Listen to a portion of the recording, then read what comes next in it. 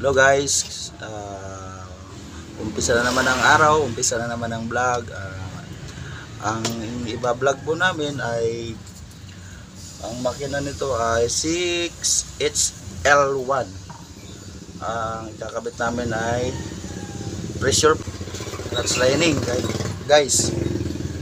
Ah, ito pala yung mga ano, ito pala yung parts number ng pressure plate. Ay, kita ba? Pressure plate. Ayan, ito, ito yung parts number? Ay, ayan, ayan, ayan, ayan, ayan. Clutch lining. Clutch lining. Ito yung clutch lining. Kakabit namin. 10 by 13 by 10 ah. Clutch lining nito. Ah, guys. Ito, kakabit na lang. Guys, so, umpisa na natin guys.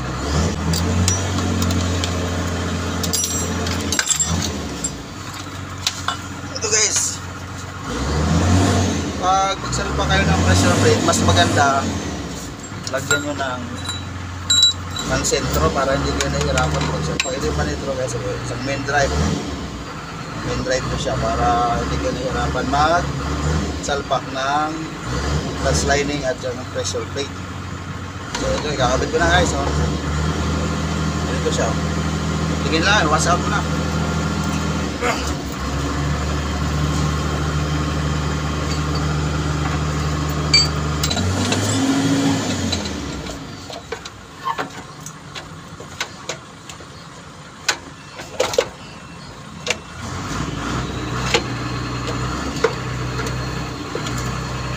Oh.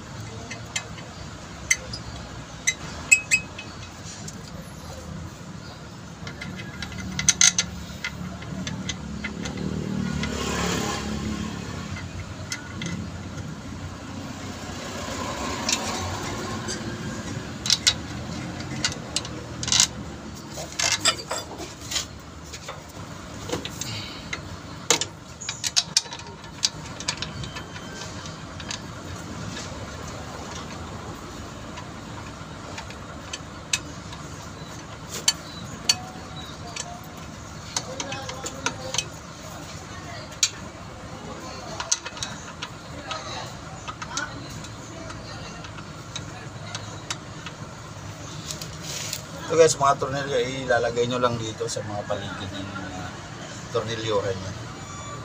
Ayan. Dito, dito. Dito, isa lang naman to. Kakapit na natin. Siguraduhin nyo to guys na ano ha, nakapasok ng nakasintro. Para pag nagsalpa kayo ng transmission, hindi kayo nahihirapan. Siguraduhin nyo na nakapasok talaga siya doon sa pilot niya. Pagka pagpasok ng transmission, isang salpakan lang doon na ulit-ulit.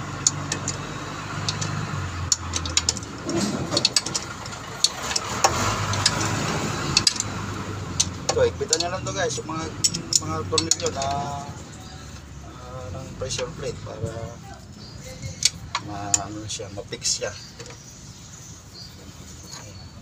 Yan. Ito lang siya oh.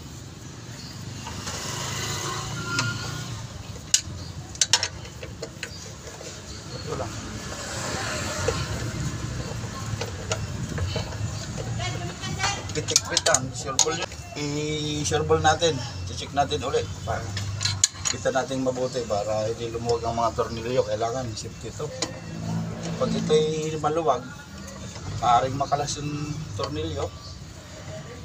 Baka makadamage pa ng ano, damage pa ang ating pressure plate o yung housing ng transmission maka sa may, baba- may bababa agad kasi nga may natanggal na tornilyo isa sa sasakyan isa pagka natanggalan ng tornilyo sanhi yan ah, ibababa mo na naman ulit kasi kailangan ng ayusin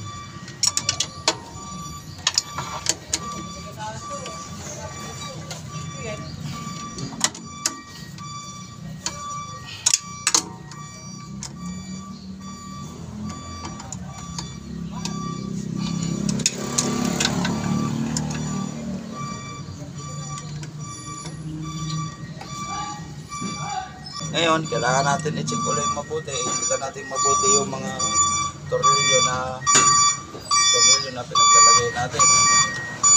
Okay. Pwede na natin tanggalin to guys kung